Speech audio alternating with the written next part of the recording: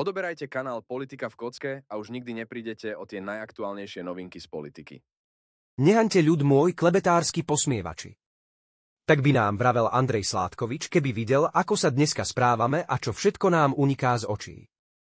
Niekedy sa pýtam, či vôbec vieme, kto to bol Sládkovič a čo nám svojimi veršami chcel odkázať. Nie, nie je to len o tom, že spomínaný nehante ľud môj vyznieva ako prísne napomenutie.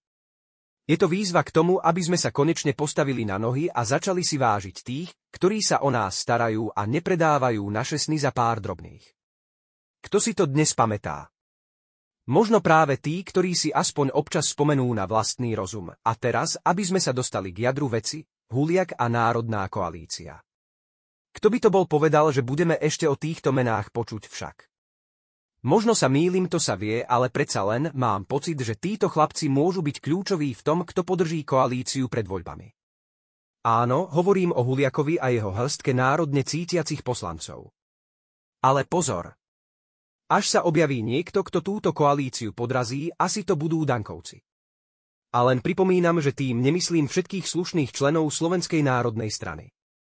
Len to, že niektorí tam vrátane predsedu sa už vybrali cestou, ktorá s národom a jeho zájmami nemá nič spoločné. Tento huliak však chlapec má smolu nevyzerá ako niekto, kto by bol stvorený pre komerčný svet politiky.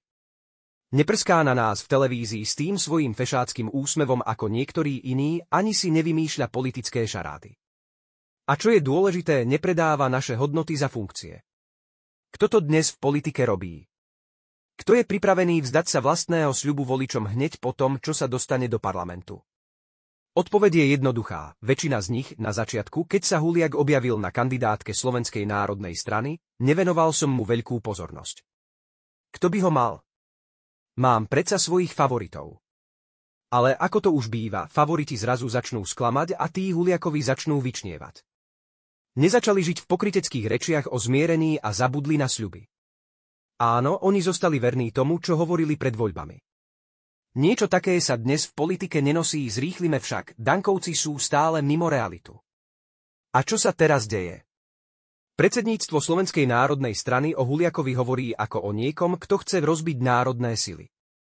Ale veru, ak niekto rozbíja národné sily, tak sú to oni sami svojim egoizmom a nezáujmom o to, čo je správne pre tento národ. No ale veď čo sa čudujem, keď sa Andrej Danko radšej venuje svojej pozícii v parlamentnej stoličke, než tomu, čo by mal naozaj robiť chrániť záujmy ľudí, ktorí im dali hlas. A za tým huliakom, ak sa pozrieme poriadne, je jedna vec držia slovo. Ako málo je to dnes medzi politikmi a smer. No oni sa snažia udržať pokoj v koalícii. Pomohli Slovenská národná strana a udržali ich poslanecký klub v parlamente. A keď sa pozrieme na ich správanie, aspoň neháňajú huliakovcov, ako to robí niekto iný. Možno to nie je to najlepšie, ale aspoň sa nevyjadrujú na nich ako na nejakých zracoch.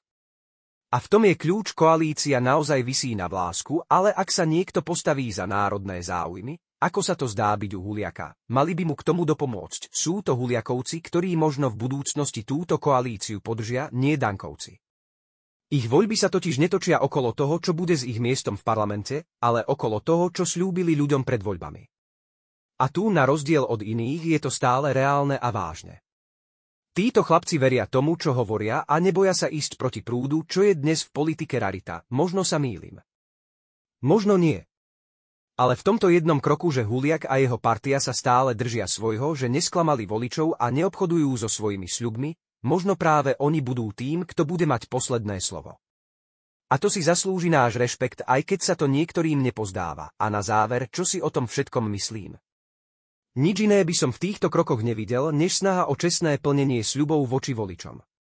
A to sa dnes cení, aj keď to niekomu, zvlášť tým, čo nás zradili, nie je povôli.